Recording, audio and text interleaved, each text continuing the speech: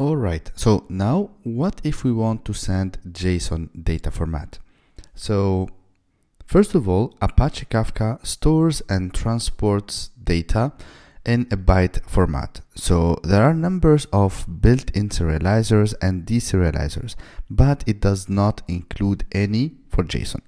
And the reason that Kafka does not provide a JSON serializer is to avoid imposing a specific serialization format on users.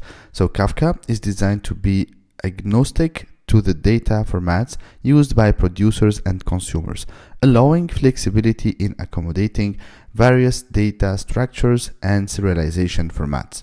So, but Spring Kafka created a JSON serializer and JSON deserializer, which can we use to convert Java object to and from JSON.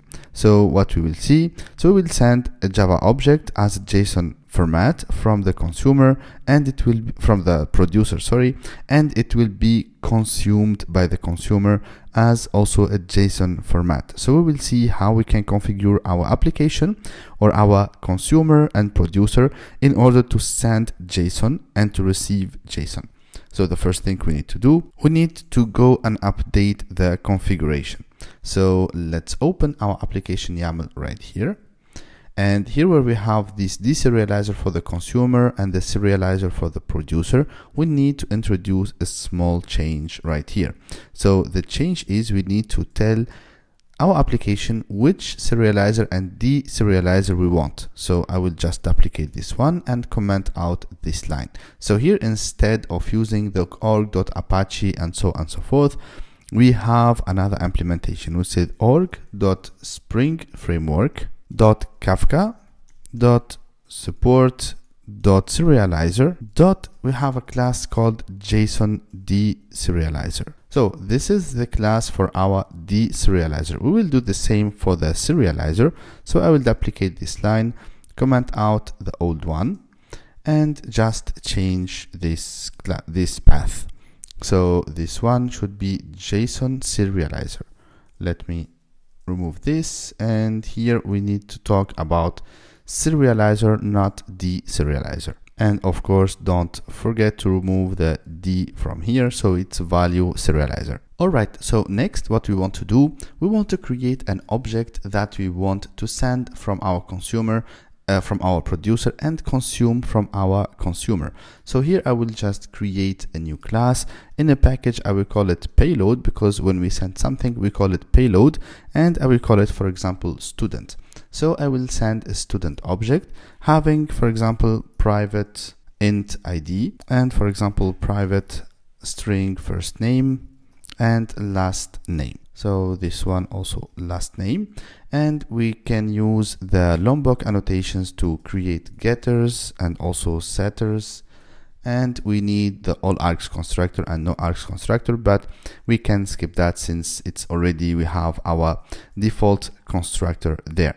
So now the next step is let's see how we can or like do we need any configuration to send and receive JSON format the, the answer is just in few seconds so after changing the configuration, the next step is, is to change our producer. So here we have the example for a string producer. Let's keep it that way and I will create a new one. So I will create a new class and I will call it Kafka JSON producer. So like you can have, and you will have the whole code for everything. So the first thing, of course, this is a service and I need my required args constructor in order to inject my dependencies. So again, we need our Kafka template. So here I will do private final Kafka template. And now it will be a string for the key and our object as the value. So our object is the student. So it will be student. Let's call it again Kafka template. And now I need a public void and let's call it send message. So to send the message, what we need, we need our student as object. So let's call it student or simply data, or let's call it simply student. All right, so after that, what we need to do, we just as we did with the Kafka producer, just Kafka template dot send, but it's not the case. So here, what we need to do, we need to create an object of type message. So here I will create an object of type message and it's coming from the Kafka package. So you need to be careful about this. So this message will be of type student and then I will call it message equals message builder dot and then we have a method called write payload. Sorry not write but with payload. And I guess I imported this message from the wrong package. But we, we will see. So here we have with uh, payload and our payload is the student object so next we have to set the header so we can set header or headers. So our header is the Kafka topic. So we have a class called Kafka headers dot topic. So this is the topic or like the object that we want to send. We want to specify with to which topic we want to send this one. And our topic, as we mentioned before, is called Alibou and then dot build all right so here this build method it will return object of type student and here we can make sure or check which package is this one. So yeah when we imported our message class we imported it from the wrong place. So it should be org spring framework dot messaging not the one from kafka. So let's change this one. So we can remove this import from here and we can import the new one so it's the correct one is Spring Framework.messaging and as you can see it's a generic type. So in this way we are able to send our message. But here we just built the message. We need now to send it. So now we need to call our kafka template dot send. And as you can see the send it also like we have a, a send method that takes a message as an object so here we want to send our message all right? So this is the method that we are talking about. It's a completable future and it takes the message as an object. All right so this is the send method. Now let's move on to the next step Alright, now let's adjust our controller. So the first thing here we have one Kafka producer which is a service and we have the new one which is also a JSON, the Kafka JSON producer which is also a service. So when I come here to the controller, we might face like an issue that we like we cannot know or we don't know which one to inject. But here we have like uh, the Kafka producer. So here we just need to change this one to the Kafka JSON producer and consume that one. All right? So now I will adjust this method. So I will just duplicate this method here and I will call it send JSON message. And here instead I will ask or I will require a student object and here for this send message I will just inject the new Kafka JSON producer and I will call it Kafka JSON producer Alright, so now instead of using the Kafka producer, let's use the Kafka JSON producer and let's send the message. So here also we can return send queued successfully and let's say as JSON just to differentiate between the two different method methods. So here we have a post mapping and now I will just add a small thing just to differentiate it. I will just add slash JSON to know that we are calling the JSON method. All right, so like so this is just for a test. It's it's not the best way. Like to inject to services like doing almost the same thing. We need to separate them or like use one of them but it's just for the purpose of learning. So now we even have our our consumer right here so it will consume this topic. And now we can just go ahead start the application test it and we will see how this message will be displayed. So it, it will be will it be displayed as a string or will it pose an issue since we have a JSON deserializer. So let's go ahead and check that one. Otherwise, we can also create or change our Kafka listener accordingly.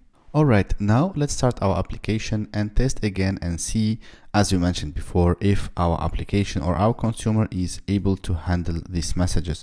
So first we see that we have some exceptions while starting the application. So let's investigate this exception. So it starts from here. So we have like um, error, error handler cannot process the serialization exception. Let's check the coast by. And here it says error deserialize key value for the partition alibou 0 and so on and so forth so if we scroll also down we see here that we have a different cause so it says that the class com.alibou kafka payload student is not in the trusted packages so this means so and here it mentioned that if you believe this class is safe to deserialize please provide its name if the deserialization deserialization is only done by trusted source.